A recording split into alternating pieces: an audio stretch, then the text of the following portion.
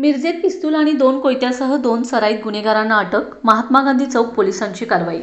मिरजेत महात्मा गांधी चौक पोलिसांनी अवैधरित्या देशी बनावटीचे पिस्टल तसेच कोयते बाळगणारे दोन सराईत गुन्हेगारांना अटक केले. मलिक जान उर्फ सोहेल राजू नदाफ वैतीस राहणार ईदगाह नगर आणि इजाज उर्फ एजाज अल्फाज शेख वय अठ्ठावीस राहणार अमन नगर असे अटक करणाऱ्या दोन आरोपींची नावे आहेत.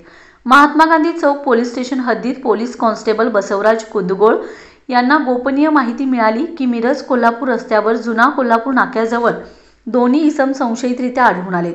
यावेळी त्यांना सापळा लावून त्यांना ताब्यात घेऊन अंगझडती घेतली असता त्यांच्याकडून एक देशी बनावटीचे पिस्टल दोन लोखंडी कोयते तसेच त्यांनी गुन्ह्यात वापरलेली एक काळ्या रंगाची स्कोडा ॲक्टिवा चारचाकी गाडी असा एकूण पाच लाख एकावन्न हजार रुपयांचा मुद्देमाल जप्त करण्यात आलाय.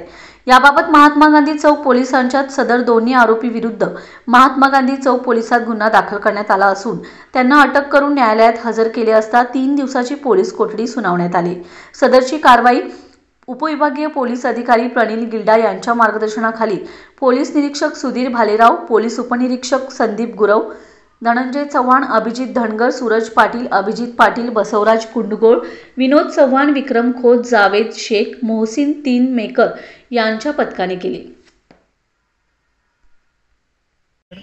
आगामी गणेशोत्सव नवरात्रोत्सव तसेच येणाऱ्या विधानसभा निवडणुकींच्या पार्श्वभूमीवर माननीय जिल्हा पोलीस पोलीस अधीक्षक गुगे सर तसेच अपर पोलीस अधीक्षक रितू खोकर मॅडम यांच्या मार्गदर्शनाखाली आम्ही सर्वच पोलीस स्टेशन ठाण्याअंतर्गत विविध अवैध शस्त्र बाळगणारे इसम तसेच अवैध कारवाया यांच्यावर आम्ही अवैध धंदे यांच्यावर आम्ही कारवाई करत आहोत.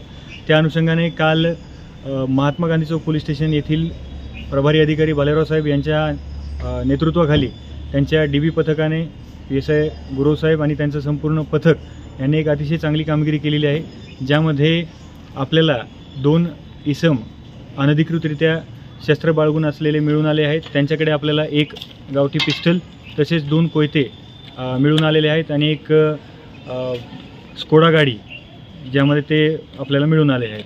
त्यांना अटक करून तीन दिवसांची पोलीस कोठडी आपल्याला मिळालेली आहे.